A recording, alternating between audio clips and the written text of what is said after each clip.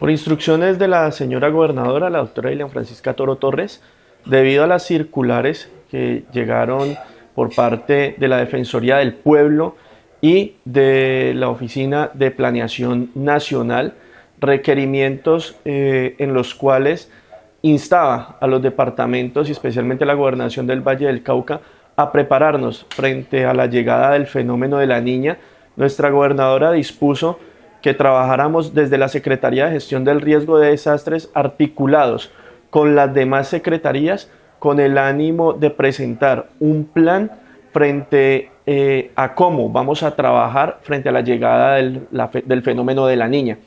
Este plan eh, se trabaja de manera articulada con la Unidad Ejecutora de Saneamiento Básico, con la Secretaría de Vivienda Departamental, con Acuavalle, con Vallecaucana de Aguas, con la Secretaría de Infraestructura, con Ambiente, con la Secretaría de Vivienda y demás actores que tengan injerencia en la toma de decisiones y sobre todo específicamente con el ánimo de que podamos de manera integral desde la gobernación del Valle atender los llamados de la comunidad frente a la ocurrencia de eh, algún evento o alguna emergencia que se presente en los próximos meses frente a la llegada eh, de la segunda temporada de lluvias en el departamento con fuerte incidencia del fenómeno de la niña. Y nuestras consultas, las cuales venimos haciendo eh, periódicamente desde la Secretaría de Gestión del Riesgo, haciendo un seguimiento, especialmente de monitoreo, frente a los informes que eh, nosotros recopilamos del IDEAN, de la CBC y de otras fuentes como la NOAA,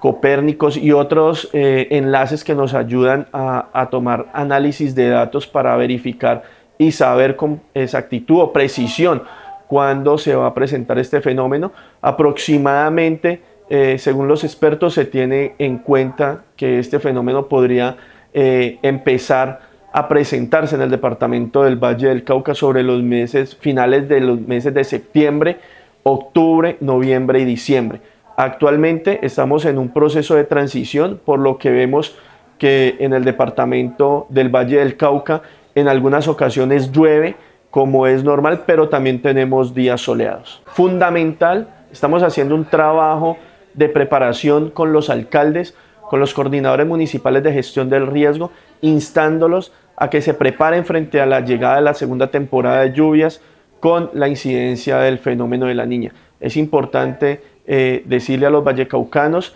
que estén atentos a los pronósticos y a las recomendaciones que damos desde la Secretaría de Gestión del Riesgo de Desastres, desde la Gobernación del Valle del Cauca y desde luego cada uno de los alcaldes de los, distintos municipios del departamento. Hacemos un llamado general a que estemos en constante comunicación y atentos a toda la serie de recomendaciones, pero desde eh, gestión del riesgo siempre venimos haciendo una recomendación importante, especialmente a los alcaldes eh, del departamento del Valle del Cauca, especialmente de los centros poblados, y es hacer un trabajo eh, frente a los sumideros que son muy importantes, eh, hacer un trabajo de escolmatación de estos, hacer seguimiento por parte de los coordinadores a las cuencas hidrográficas de los municipios con el ánimo de prevenir que los ríos pues no se encuentren eh, empalizadas o que debido a esta situación que se pueda presentar